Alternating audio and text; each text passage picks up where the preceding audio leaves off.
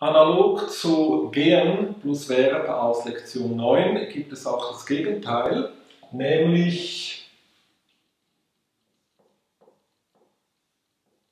kommen plus Verb.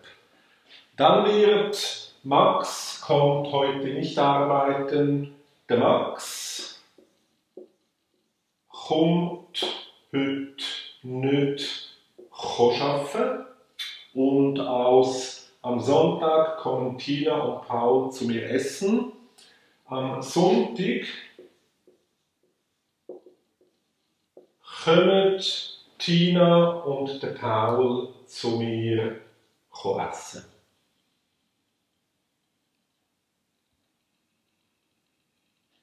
Auch da ein paar weitere Beispiele. Ich komme kurz schauen. Er kommt die Waschmaschine reparieren. Oder auch als Frage, wann könnt ihr mir helfen?